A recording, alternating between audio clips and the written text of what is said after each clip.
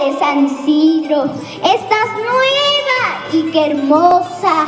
En ti vamos a estudiar, nos sentimos orgullosos. Cuando llegamos a nuestra escuela, vamos contentos a saludar. Luego pasamos a nuestras aulas y felices nos ponemos a estudiar. Más de un centenar de niños y niñas del centro poblado San Isidro, del distrito San Marquino de José Sabogal, ya cuenta con renovados y mejores ambientes educativos, luego que el 29 de mayo último fuera inaugurado el mejoramiento del servicio educativo de la institución número 821010 de esa localidad. El acto inaugural fue presidido por el gobernador de la región Cajamarca, Porfirio Medina Vázquez, quien estuvo acompañado de los consejeros regionales, Valentín Castañeda de San Marcos, Máximo León de Cutervo y Manuel Ramos de la provincia de Hualgayoc, funcionarios de la Dirección Regional de Educación y el director de la UGEL San Marcos, Marco Eduardo Silva Silva.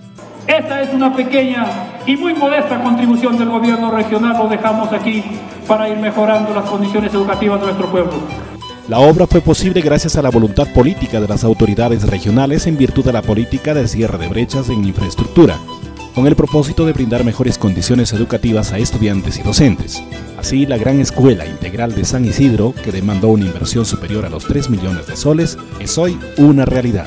Claro, yo más antes, yo he caminado tres horas para estudiar y más antes la escuela era más abajo. Más antes nos sentábamos en adobes, en piedritas, eso, que no tenían, sino en carpetitas, así que nos hacían nuestros padres. Sí, está bien, está bonito. Va a haber un futuro con esta, con esta escuela de acá. El gobernador regional de Cajamarca, Porfirio Medina, se mostró contento al cumplir su compromiso con la comunidad y contribuir con el desarrollo de las presentes y futuras generaciones.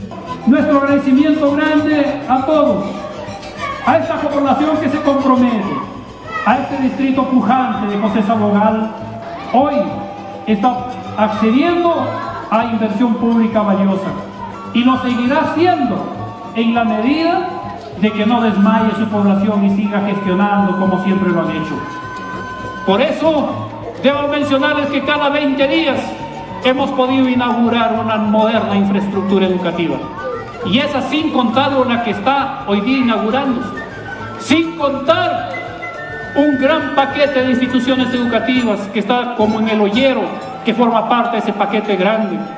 Sin contar las que faltan inaugurar, como las que vamos a inaugurar en Cutervo este fin de semana, como las que vamos a inaugurar en Jaén, y las que en este momento están iniciando, las que están en proceso.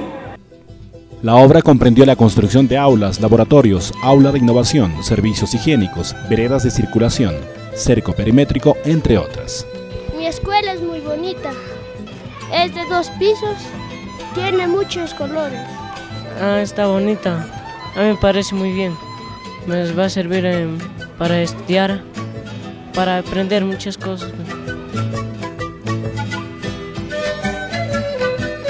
Mire, ve, esto es para nuestros nietos, tataranietos. Muy bonita, de verdad, muy cómoda y nos sentimos muy contentos con las autoridades que han hecho esta, esta obra. En la ceremonia que contó con la presencia de cientos de asistentes se realizó también la animación de la lectura por placer, la cual estuvo a cargo de funcionarios de la Dirección Regional de Educación, DRECA Cajamarca.